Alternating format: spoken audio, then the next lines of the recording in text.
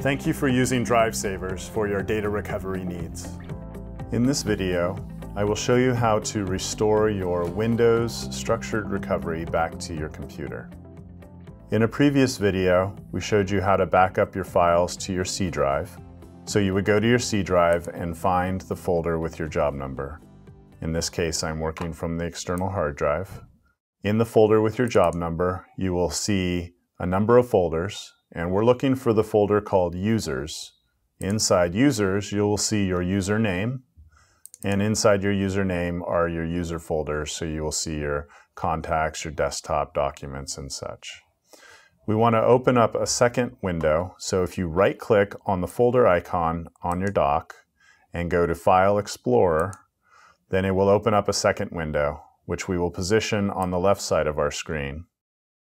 We will then click on this PC, click on your C drive, click on Users, go to your username, and here you will see your user folders as well. And we would then open the folders one at a time. So I want to copy the contents of my desktop to the desktop. So I would then highlight the files that I want to move and drag them over to the desktop. I can then use this up arrow here to go back one folder on both windows and move on to the Documents folder. So we would open those folders. Again, highlight the folders that we want to copy, and we would drag them over. We can repeat this for all of the folders that we have in here. Now, there's one file that most people use on a Windows, which is your Outlook files, and these are stored in a couple of places. They are stored in your username, and then app data, local, and then Microsoft, and then Outlook.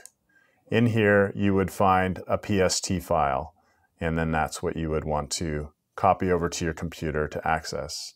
You don't have to copy it back to this same location. You can copy it to your computer and you can still open it.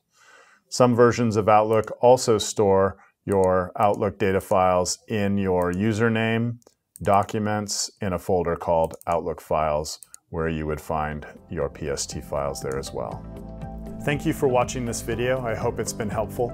If you still have some questions, you can visit our wiki page at wiki.drivesaversdatarecovery.com. On there, you'll find more information about restoring data to your computer. And if you still have some questions, please give us a call at 800 609 2301.